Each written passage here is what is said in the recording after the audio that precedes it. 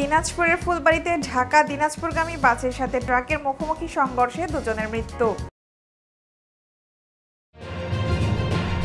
CTV seventy দিনাজপুরের ফুলবাড়িতে ঢাকা দিনাজপুরগামী যাত্রীবাহী বাসের সাথে ভুট্টা বুঝে ট্রাকের মুখোমুখি সংঘর্ষে বাস চালক সহ দুইজনের মর্মান্তিক মৃত্যু হয়েছে। আজ মঙ্গলবার ভোর পাঁচটায় দিনাজপুর গোবিন্দগঞ্জ আঞ্চলিক মহাসড়কের ব্রক্ষচারী নামক স্থানে এ দুর্ঘটনাটি ঘটে। নিহতরা হলেন ঢাকা দিনাজপুরগামী এসআর ট্রাভেলসের চালক মোহাম্মদ হাকিম। অপর নিহত ব্যক্তি বাস যাত্রী হাকিমপুরের নৌদাপাড়া গ্রামের নাসিরুদ্দিনের ছেলে মোহাম্মদ আশিক আলী। এতে আহত হয়েছেন আরও দুই বাস যাত্রী। ফুলবাড়ি থানার ওসি আশরাফুল ইসলাম বিষয়টি নিশ্চিত করে বলেন ঘটনাস্থল থেকে দুটি মরদেহ উদ্ধার করে থানায় নিয়ে আসা হয়েছে। এ ঘটনায় একটি সড়ক দুর্ঘটনা মামলার প্রক্রিয়া চলছে। শামিমা চম্পা সিটিপি একাত্তর।